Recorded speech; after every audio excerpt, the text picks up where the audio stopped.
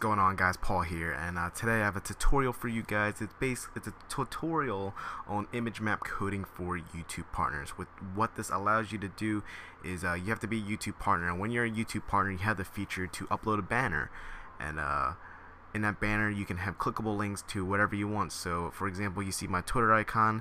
We're gonna make it so when he, anybody clicks on a Twitter icon uh, it's gonna take them to my Twitter uh, stuff like that. So um, I'm gonna show you the example. When you're YouTube partner, you have all these settings. You got you got a branding option and image map code. This is where you paste your coding so people can click on it and it, the dimensions and everything like that.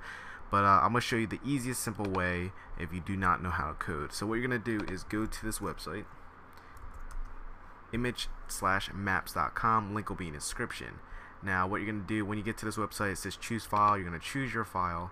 Uh, it's gonna be sorry for that penis that was in there. That was uh, for app that I was making. I was messing around putting people's faces in it. But um, I'm going to look for it right here. This is what it looks like. That's the banner that I uploaded by a certain size. And I'm going to hit choose. Uh, once that's uploaded, you're going to hit start mapping your image.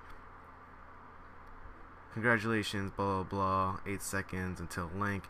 Uh, down here, I'll show you what it looks like. Make sure it's the right uh, picture we're going to be able to continue to the next step right about now. So right now you see in the top left, this is your picture. This is your banner that is on your website or your YouTube channel.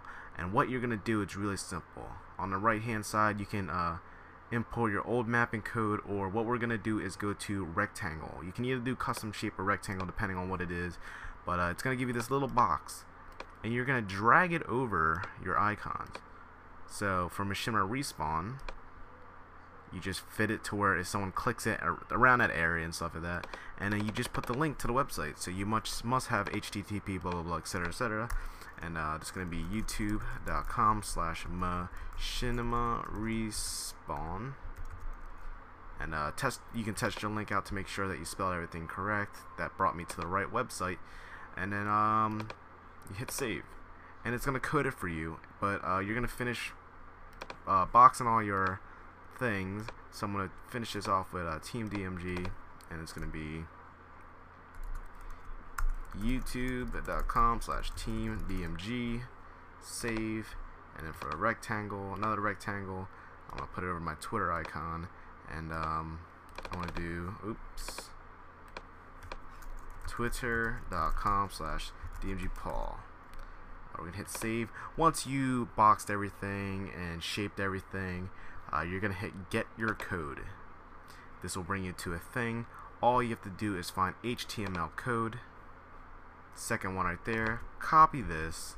Go back to your channel branding options and paste the code in there.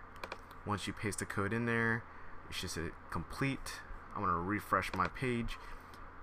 Once I refresh my page if I click on any of these it should take me to the link. Now I'm gonna click on Twitter directly to Twitter, etc. etc.